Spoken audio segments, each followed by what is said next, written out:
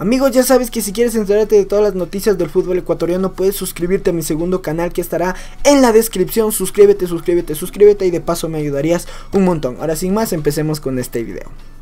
Hola chicos, ¿cómo están? Espero que estén muy bien, muy felices, muy contentos. El día de hoy estamos en un nuevo video más de Goloio dando las mejores noticias de Barcelona Sporting Club. Así que nada, si quieres enterarte de todo, no olvides suscribirte, darle like, activar la campanita, compartir con todos tus amigos. Es muy, muy, muy importante. Si es primera vez que ves uno de mis videos, si te gustó, suscríbete, dale like, activa la campanita. Sobre todo, activa la campanita para que no te pierdas nada del entorno de Barcelona Sporting Club. Déjame un like en este video si te gustó. Y nada, suscríbete, empecemos con este video. Señores y señoras, seguimos en esta pues cuarentena se podría decir. Recuerden hashtag yo me quedo en casa, debemos de protegernos para salir de la manera más rápida de esta situación tan terrible que está azotando a todo el mundo. Eh, para adicionar esto, para adicionar esto, pues suscriptores, suscriptores eh, mandaron estos como uniéndose al reto del yo me quedo en casa. Aquí pueden ver estos videos.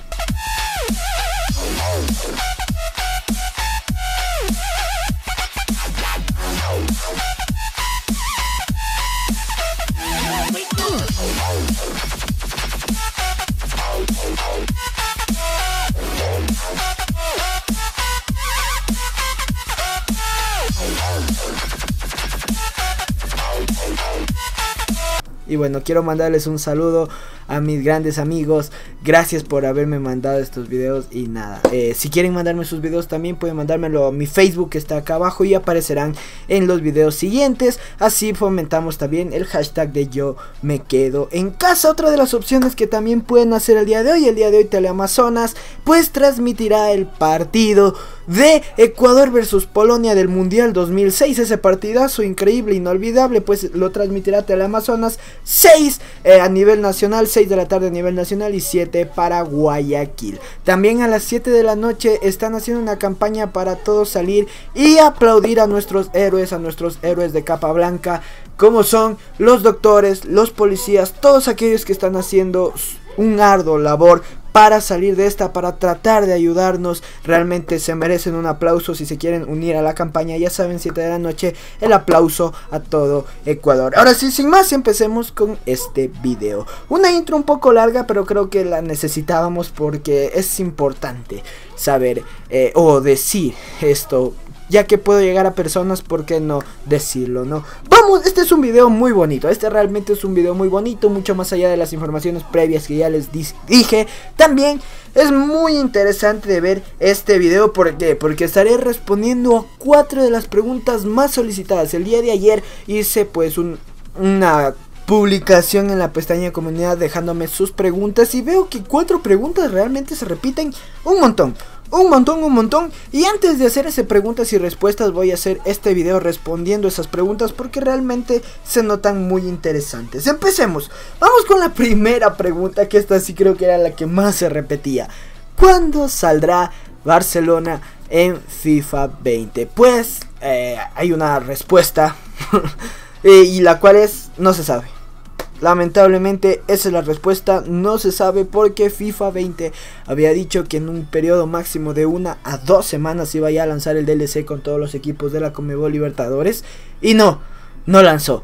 A ver, que puede ser que salga hoy, que puede ser que salga mañana, o sea, realmente no hay fecha y con todo lo que está pasando, pues no creo que esa sea su prioridad de EA, aunque sería muy bueno pues para que sigamos en casa y podamos divertirnos de esa manera, ¿no? Pero realmente no hay fecha exacta para el DLC de Barcelona en la Libertadores. Sí saldrá, eso sí, no pierdan las esperanzas, sí saldrá pero no hay fecha de cuándo es la salida. De todas maneras, acá tendrán una serie en el canal, muchos reviews, así que ojalá salga de la manera más rápida para tener contenido muy chévere en el canal. Vamos con la siguiente pregunta que también me la hicieron y que realmente es muy, muy, muy solicitada y que muchos tienen esta duda. ¿Cuándo regresa Burray y cuándo ya podrá actuar Michael Arroyo. Lo de Arroyo yo he venido contestando a lo largo de estos últimos videos, pero se lo vuelvo a contestar aquí. Empecemos con lo de Burray. Al bueno, al menos eh, porque ya la Liga Pro y la Libertadores dijeron que iban a reiniciar sus torneos en mayo, entonces ya se sabe pues que tendrán un, eh, todo abril sin fútbol. Ese es el periodo suficiente para que Burray se recupere. Sí, señores y señoras, para todos esos que tienen duda, cuando se reinicia el fútbol, si es que se reinicia en mayo, ojo que solo es una fecha tentativa y que puede estar sujeta a cambios, si es que se reinicia en mayo el fútbol, Javier Burray ya estará al 100% de sus capacidades para defender el arco de Barcelona. Sí, ya estará para la Liga Pro. Sí, ya estará para, el partido contra Junior. Así que tranquilidad, gente. Ya estará Javier Borray. Incluso creo que la siguiente semana ya puede hacer trabajos físicos. Lamentablemente, pues por todo lo que está pasando, los jugadores están aislados. Pero bueno, al menos trabajos en su casa ya de poder hacer la siguiente semana. Ahora sí, vamos con la pregunta de Michael Arroyo o Michael Arroyo. Pues señores y señoras, Michael Arroyo ya está totalmente habilitado, ya está totalmente en su forma física, ya está para jugar la Liga Pro. Ya, o sea, cuando volvamos de la para nuevamente también, si así lo desea Fabián Bustos, Michael Arroyo ya podrá jugar en la Liga Pro. Ojo, solo en la Liga Pro, no en la Libertadores, porque no está inscrito. Michael Arroyo no está inscrito en la Libertadores, entonces por lo tanto no puede jugar la Libertadores. Pero sí en la Liga Pro. Michael Arroyo solo estará para la Liga Pro, a menos de que Barcelona pase a los octavos de final. Ahí pueden inscribirlo a Michael Arroyo. Vamos con otra pregunta y esta también fue muy muy solicitada. Realmente estas cuatro preguntas fueron muy solicitadas y yo estoy respondiendo de lo que yo sé. De lo que yo sé y bueno, empecemos. Adonis Preciado. sí, ¿no? Creo que muchos tenían interés en este nombre. ¿Qué pasa con Adonis Preciado? ¿Viene a Barcelona? ¿No viene a Barcelona? ¿Qué está pasando con Adonis Preciado? A ver, el tema de Adonis Preciado a Barcelona lo quería, pero lo quería un montón. O sea, quería que llegue, quería que se ponga la amarilla, quería que defienda este año, esta temporada, la camiseta de Barcelona Sporting Club. ¿Qué es lo que pasa? Mm, tuvo unos problemas porque había firmado varios contratos y tuvo unos problemas. Entonces Barcelona le dijo, arréglame esos contratos y vienes acá. Incluso Barcelona antes de que se entere eso ya tenía un preacuerdo, o sea, ya tenía todo arreglado con Adonis para que llegue al ídolo del Ecuador. Em, después salió lo de los temas de los contratos y pues le dijo, a ver, arréglame eso y después si vienes. Adonis poco a poco ha ido arreglando esos problemas y creo que ya los arregló totalmente. Pero ahora, ¿qué es lo que pasa? Barcelona no lo llama. Ahora Barcelona no lo llama. No sé qué es lo que está esperando o qué es lo que pasará. Eh, este caso me suena mucho al de Brian Eras. Porque Brian Eras ya tenían todo, todo, todo arreglado con Barcelona. Ya estaba hablado todo económico, contrato, todo, todo, todo, todo. Lamentablemente Barcelona le dijo, espera, tengo otras prioridades, espérame mi llamada. Brian Eras se cansó y se fue. Eso es lo mismo que está pasando con Adonis Preciado. Ya Adonis ya le dijo, ya, ya está todo arreglado. A ver, fíchame. Barcelona le vuelve a decir, espérame, déjame resolver unas cosas y te llamo. A ver, ahora, Adonis todavía no le ha dicho, bueno, ya me voy. O se cansó, no, todavía está esperando esa llamada. Pero toda persona se cansa.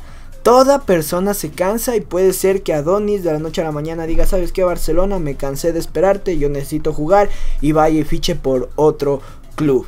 Entonces, esa es la situación de Adonis Preciado. Está esperando la llamada de Barcelona Sporting Club. Por ahora no es nada oficial. No es jugador de Barcelona. No está para esta temporada. Al menos por ahora. Puede ser que mañana ya lo hayan contratado o algo así. Pero por ahora Adonis Preciado no está en Barcelona Sporting Club.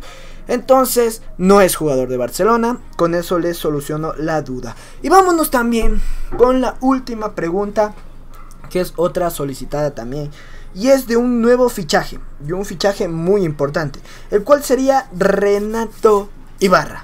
Señores y señoras, se ha estado rumores van, rumores vienen acerca del fichaje de Renato Ibarra, del futuro de Renato Ibarra después de lo que aconteció. Ojo, Muchos en el video que yo hice sobre Renato Ibarra decían por su problema personal, no de venir a Barcelona y todo eso. Yo no me voy a meter en eso, ¿sí? Yo no me voy a meter en su vida personal, eh, yo solo me voy a dedicar a hablar en lo futbolístico, ¿sí? Entonces eso ya es muy aparte y no me incumbe, entonces no me meteré a opinar en ese sentido, yo me voy a meter directamente en lo futbolístico. Lo cual sería un gran aporte Renato Ibarra en Barcelona Sporting Club. Ahora, es complicado, sí, es muy complicado. ¿Por qué? Porque equipos de México lo quieren y también acá se están peleando por él dos. Los dos rivales, los dos del clásico, Emelec y Barcelona se están peleando por Renato Ibarra. Y ahora, Renato creo que quiere regresar al país. Y la América ya le está ayudando todo para que pueda venderlo y pueda salir del América. Ya no quedarse en el América, pero pueda salir. Entonces, ¿cómo sería? Renato Ibarra sí podría llegar a Barcelona. Es complicado también porque Melec nos lleva ventaja porque llegan las negociaciones un poco más avanzadas. No digo que ya va a ser jugador de Melec. Realmente todos están muy alejados de Renato. Pero está un escalón más arriba eh, Melec. Entonces eso les quiero explicar. Barcelona también está haciendo todo lo posible para ver qué es lo que puede hacer. Porque realmente es un jugador importante y yo creo que llegaría a a Barcelona solo aportar. Me gusta mucho ese jugador y ojalá se pueda dar. Eso les puedo decir en las dudas que más han solicitado. Así que muchachos, gracias por ver el video. No olviden suscribirse, darle like, activar la campanita, compartir con todos sus amigos. Es muy importante. No olviden, yo me quedo en casa. Nos vemos en un siguiente video. Y mañana un preguntas y respuestas creo, creo que será muy chévere. Adiós.